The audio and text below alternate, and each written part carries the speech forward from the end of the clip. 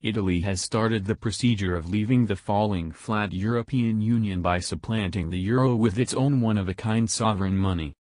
The move has started fears over the EU of a fast-approaching Italexit which EU pastors dread will be the last nail in the pine box for the European Union.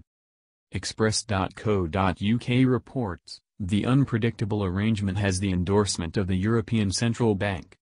Among the gatherings backing it is Silvio Berlusconi's Forza Italia, which has delighted in a surprising rebound in the surveys. The disclosure comes as Martin Schulz, the pioneer of Germany's social democratic gathering who was tipped to wind up Chancellor Angela Merkel's agent, a week ago required the formation of a United States of Europe by 2025. The authentications, known as CCFs, give laborers and organizations tax reductions to help salary and efficiency.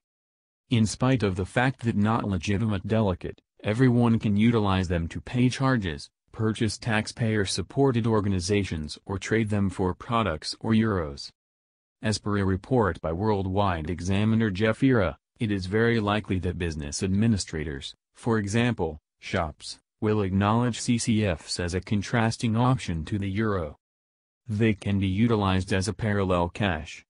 Free MEP Diane James stated, if Italy manages to leave the single money, it is just a short time until the point when it formally goes out of cards comes smashing down.